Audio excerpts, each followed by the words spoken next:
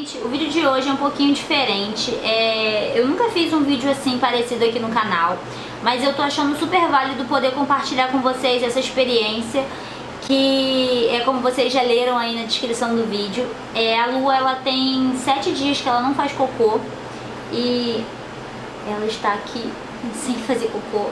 E eu tô um pouco quanto desesperada, digamos assim. Tô um pouco controlada aqui pra não parecer tão surtada aqui no vídeo. Mas assim, de verdade, tô muito preocupada porque é, ela... Eu não sei, gente, ela só mama no peito, sabe? Ela não come nada, né? Até porque ela só tem dois meses. E tem sete dias que ela não faz cocô. É, na semana passada, na, na, verdade na semana retrasada, ela ficou cinco dias sem fazer cocô. No quinto dia, quatro, quatro dias e meio. No quinto dia, ela fez e fez um cocô bem pastoso, sabe? E assim, eu não entendi nada. Mas até então, beleza, e fez bastante. Depois desse dia, até hoje ela não fez. E assim, eu tô bastante preocupada, porque eu não sei o que, pode estar acontecendo. Daí eu liguei pra pediatra, né, mandei mensagem pra ela, ela disse que é, nessa, nessa fase, né, da, da idadezinha dela, pode ser normal. Pode acontecer da criança ficar entre dois, três dias sem fazer cocô, isso é super normal, porque o intestino ainda tá é, trabalhando para se regularizar, digamos assim, porque quando o bebezinho nasce, assim que o bebezinho nasce, ele faz cocô direto, né? É, várias vezes no dia, inclusive ela era assim. E aí agora, de fato, tá tendo esses espaçamentos. Só que assim, esses espaçamentos com muito tempo, não sei, sabe? Não é, não sei. A pediatra disse que pode ser normal, que daqui a pouco vai regularizar, mas eu tô bastante preocupada. Então, ela me disse alguns métodos que eu posso fazer, que eu posso usar nela é, para que ajude, né, que ela faça cocô. O que que acontece? Ela me falou para eu fazer massagenzinha na barriguinha dela e em último caso usar o supositório. Eu tô tipo em último caso mesmo, porque eu não quero usar o supositório nela. Não quero porque, enfim, eu acho invasivo, não sei, não gosto. Mas assim, se passar muitos dias e ela não fizer cocô, infelizmente eu vou ter que usar. Mas é, eu vou fazer a massagenzinha, eu já tô fazendo, né? Mas assim, eu, quero gravar esse vídeo pra dividir com vocês essa minha angústia. Porque de fato é uma angústia muito ruim, é muito estranha. Tava até falando com o Gabriel esses dias. Como é que pode uma pessoa se preocupar com o cocô da outra? Mas assim, né? Aqui, a outra é um ser, um ser iluminado que Deus deu pra gente cuidar. Então, assim, é muito perturbador. Eu tô sentindo uma angústia mesmo, sabe? Todo dia, toda hora que eu vejo que é, todo, toda hora olho a fraldinha dela, não fez cocô. Eu falo, minha filha, vamos fazer cocô, minha filha, por favor. sabe? E assim, acredito que outras mamães também devam passar por isso. Me deixa aqui nos comentários se vocês já passaram por isso ou se passam. É, eu não sou mãe de primeira viagem, mas parece que sim. Tem, tem coisas que parece que é assim, meu Deus, você, você já viu outras vezes acontecer mas parece que você esquece. Eu, de verdade, não lembro das crianças ficarem esse tempo todo sem fazer cocô. A Flor de Liz, ela tem prisão de ventre, então assim, ela sofre um pouquinho pra fazer cocô, mas ela é um problema sério pra comer comida... É, eu boto, assim, por exemplo, ela mamão, ela não gosta de jeito nenhum. Aí eu faço suco também não bebe. Ela é muito esperta, então ela sabe, ela saca rápido os gostos dos negócios que ela gosta, sabe?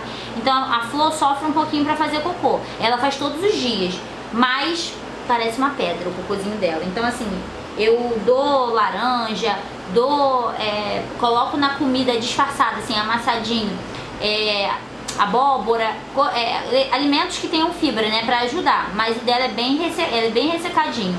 E a lua, eu não sei, tomara que ela não fique assim, mas parece, né, que já tá andando pra, pra ir pelo mesmo caminho. Mas assim, o que eu quero dizer é que a médica pediu para que eu fizesse massagenzinha e tem alguns estímulos que eu posso ajudar ela a fazer cocô e eu quero dividir com vocês. Eu vou mostrar as massagens e gravar aqui, espero que ela faça cocô durante essas gravações, né? Que, que, ela, que eu vou fazer. Eu só não vou mostrar os estímulos porque é no ânus e eu não vou gravar, né? Porque não tem lógica eu gravar isso. Mas assim, é Pra mamãe que de repente não entende, não sabe, não, de repente não, não sabe como, como são esses estímulos, é o seguinte, um dos estímulos que ela me orientou a fazer é pegar um algodãozinho molhadinho é, com água morna e passar no ânus do bebezinho, lógico, sem apertar e sem introduzir, mas assim, passar para estimular que o bebê faça cocô, ou então você pegar uma aguinha morna e jogar, né, no, na, no bumbumzinho do bebê, né? Você tá entendendo aí, que eu não falar bem claramente aqui, porque, enfim. Mas, e as massagenzinhas? Eu vou fazer as massagens e vou gravar, porque a massagem é de boas, né? Eu só não vou gravar a parte íntima da minha filha, porque não vou fazer isso, pra expor aí. Mas é, é mais ou menos isso, eu espero que vocês tenham entendido, assim, né? Pra que de repente quem tá passando pela mesma situação e não tem o contato direto com a pediatra, esperar a próxima consulta pra levar. E às vezes levar numa emergência por causa disso, de, enfim, de repente não não, não é válido e tal, vocês acham que não seja válido. Então assim, pelo menos eu quero passar essa, essa isso que ela me passou, eu quero passar pra vocês pra que eu possa ajudar também de alguma forma, tá? Então, e me deixem aqui nos comentários também o que, po o que vocês podem me dizer que eu que possa ajudar, de repente, se acontecer outras vezes. É, ela só mama no peito, ela mama exclusivamente no peito. Então assim, eu sei que também tudo que eu me alimento, né, tudo que eu como passa pra ela. Então eu tô comendo mamão, mas não tá adiantando nada. É, agora me disseram, a menina que trabalha aqui em casa, ela me disse que é bom comer manga, porque tem bastante fibra, né? Então eu tô comendo manga, mas até agora também não resolveu nada. Eu vou fazer as massagenzinhas que a médica mandou mensagem aqui falou agora. Então assim, eu vou começar a fazer essas massagens e esse estímulo no, no bumbumzinho dela. Pra ver se, cons se eu consigo. Eu vou mostrar como que eu vou fazer a massagem, espero que eu faça, espero que eu faça certo e conto pra vocês se deu certo, tá? Mas me deixa aqui nos comentários se vocês têm alguma dica pra me ajudar, por favor. Gente, olha, hoje é, foi dia de eu fazer minha drenagem linfática e aí aproveitando que a Sabrina tá aqui, ela faz uma bela de uma massagem é, eu tô aproveitando pra pedir pra ela fazer uma massaginha na barriguinha dela, porque como eu tô gravando aqui pra mostrar pra vocês, eu falei que eu ia mostrar eu fazendo a massagem, né? E é exatamente assim, ó, porque fica até mais fácil mostrando uma outra pessoa fazendo você é, tem que fazer. Exatamente assim a massagem, dando voltinha no intestino até pra ajudar, né? É, fazendo o contorno do, do movimento do direto pro intestino. É. Do intestino. É uma das. É, é uma das. Dos, das formas de, de ajudar o bebê a, a fazer o cocôzinho. Ela ainda não fez. Uhum. Gente, olha, hoje é o dia seguinte. É, como vocês viram ontem, eu falei com vocês que a lua tava quatro, é, oito dias, né, sem fazer cocô, sete dias sem fazer cocô. Hoje seria o oitavo dia e eu fiz aquelas massagenzinhas que eu até mostrei pra vocês, a, a Sabrina fazendo, mas depois eu fiz mais, fiquei palpando assim a barriguinha dela. Aí agora, a barriguinha não, a perninha fazendo assim, não precisei fazer aqueles estímulos que eu falei, que, que é bom fazer, não precisei, graças a Deus. Mas é, agora ela mamou, agora é o que? 10 horas da manhã, ela mamou, né? E eu fiquei com ela assim, ó. Eu tava com ela sentada assim porque eu também vi que era bom. Eu vi na internet que era bom ficar com o bebê com essa posição assim, ó. Com a perninha pra cima.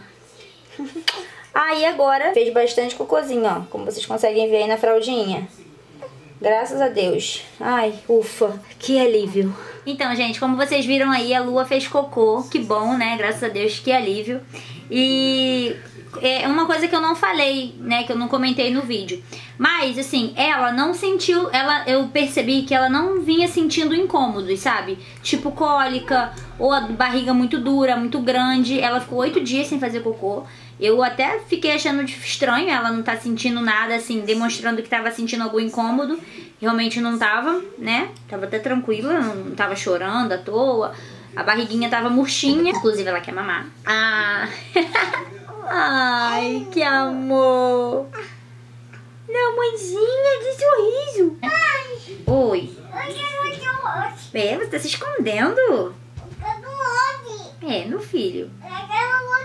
É. Então, gente, como eu tava dizendo, foi basicamente isso, sabe? Ela ficou oito dias sem fazer cocô. Eu não senti incômodo, né, da parte dela. É, né, eu não percebi ela chorando ou alguma coisa do tipo, né, de estar incomodada. Mas é, tem que se prestar atenção, porque, pô, ela ficou oito dias sem fazer cocô. Tem esse resíduo que precisa ser eliminado. E ela não tava eliminando. Então, que bom que ela não ficou incomodada, mas eu espero que ela que comece a regularizar. Eu tô começando até comer mais coisas, né? É, mamão, manga, como eu disse pra vocês. E assim, eu tive é, esse auxílio da, da pediatra, né, dela Mas eu espero, eu tô passando essa mensagem, né? Tô dividindo essa minha experiência que eu tive aqui com a Lua com vocês, que caso de repente vocês estejam, alguém, né, que, é me, que me assiste, esteja passando pela mesma situação, antes de, de de repente ir correr pro médico, alguma coisa, tenta, tenta fazer da mesma forma que eu fiz. Lógico que isso, assim, são é, ajudas paliativas, né? Pra evitar a introdução de, de supositório e tudo mais. Mas você vê, você, você que é mãe, você vai ver a, a, gravidade de como tá o teu bebê. Aqui em casa, me ajudou muito a massagem. Tanto ajudou que ela fez cocô hoje, né? E eu comecei a fazer a massagem ontem, né? Já era pra eu ter começado a fazer antes. Mas eu comecei a fazer a massagem ontem e super funcionou. Eu espero muito que eu tenha contribuído para ajudar vocês de alguma forma ou quem tá passando pela mesma situação que eu. Espero que vocês tenham gostado do vídeo.